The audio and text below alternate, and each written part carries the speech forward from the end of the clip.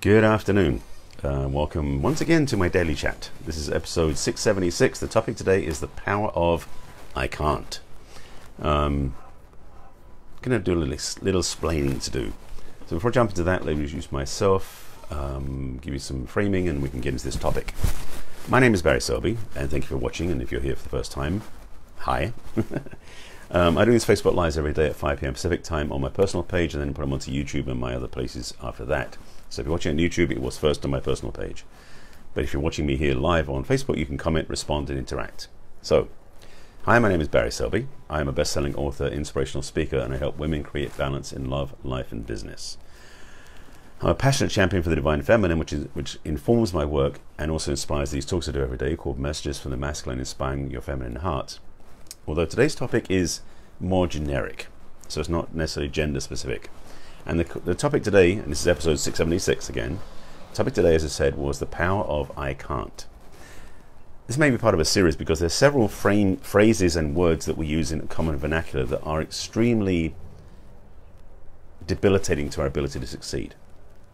And this is true for relationships, it's true for business, it's true for any area of life. And the power of I can't is a very, it's a dark power.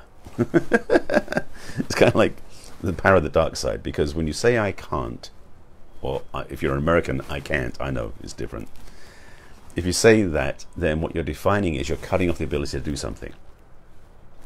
Figuratively, the word can't, as if you're taking a cleaver to a possibility happening and it cuts it off completely. The reason why we're, why we're trained to say I can't is because we default to a belief that it's simply yes or no. There's no gray area, gray area in between. It's either you can or you can't. Black and white. The reality is, though, for most things in life, for most things in life, it's not about can't do it, simply not available, not possible. It's impo- is, it is impossible. It's actually a matter of choice. And if you can't do something, that's no choice about that. It's like completely cut off the ability to make any choices. When you choose not to do something, which is very different but the same result, then it's about willingness and about the choosing to do something or choose not to do something. First of all, when you do that, it doesn't close out all possibilities. Secondly, and more importantly, it doesn't cut yourself off at the knees. See, when you say I can't, you've limited yourself and cut yourself off from doing anything you wanted to do. So, when, for example, um, say that a friend asks you if can meet up for coffee next week, and you say I can't because I've got something else going on, that's not really true. What you're actually saying is, I have other plans, so I won't be able to make it. That's the reality. But saying I can't is, in, is, is, is that sort of cutting it off. Again, it's an impossibility.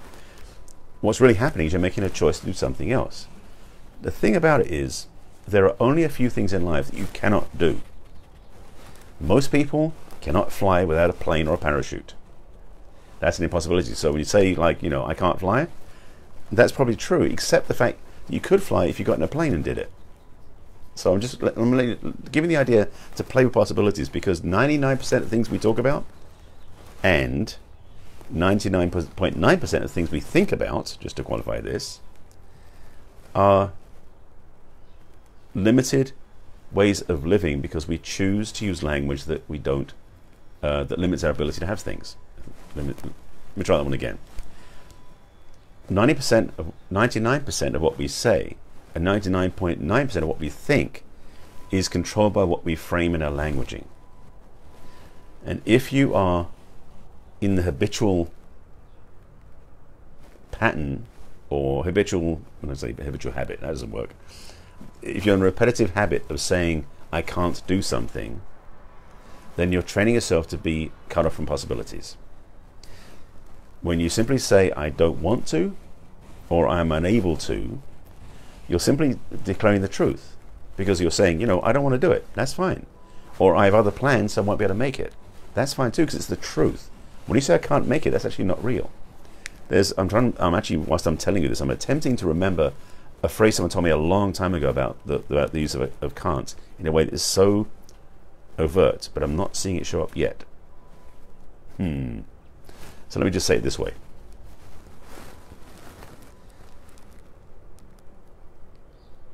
There we go.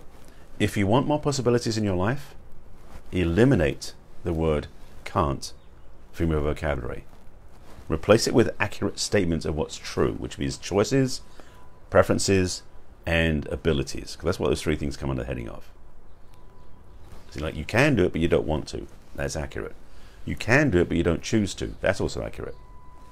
You can do it, but you're already booked somewhere else and you have other things going on, so you're not able to make that happen ideally. You, as you don't, as as a can't is you can't be in two places at once. That's a reality. Although you can actually communicate, so you can be in two places at once. So I think again that's just what I'm trying to say here. When you are clearing your languaging, and there's a few other ones besides can't that I can tell you about, which I may do in the next few days. I may just do a series of these because they're so insidious in our languaging, but we use them without thinking about it.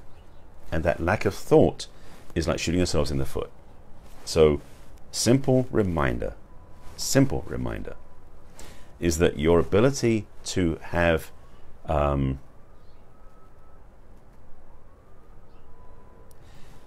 life work the way you want it to, the ability to have that is predicated upon you being available to what's possible. And when you say I can't, you are cutting off all possibilities.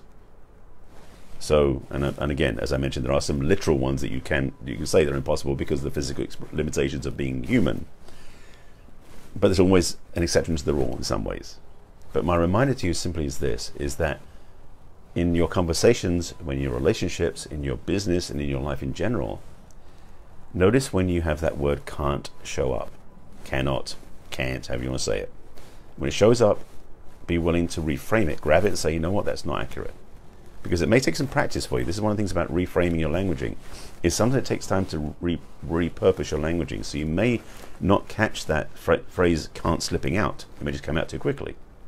But the more you become aware of it, and this is a practice for all ways of reframing your languaging, to change the way you say things, is to watch the words you say.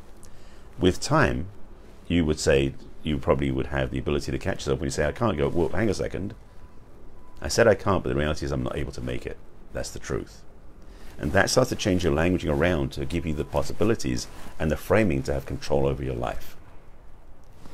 This sounds simplistic, but truth is, if you learn this skill set about how to reframe your languaging and take away some of those um, deletion words that remove you from having life the way you want it to, your life is going to transform.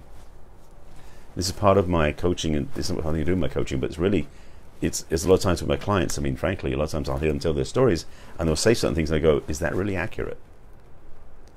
What I'm doing is holding up a mirror to show them where they may be telling themselves lies. And using the word can't is one of those lies. Because it's really about choices. And when you remember you have choice, you have power, you have freedom, you have the ability to have do- uh, dominion over your own life. And if you don't have that right now, this is a powerful way to get there.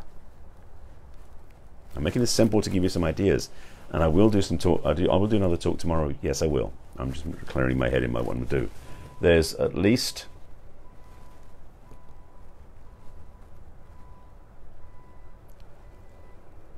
there's yes there's at least there's at least four other um, words or statements that we tend to use in our languaging that really shoot ourselves in the foot. So this is one of them. I'll give the other one. I'll give you at least another one tomorrow. I may sure may do the whole week. We'll see what happens.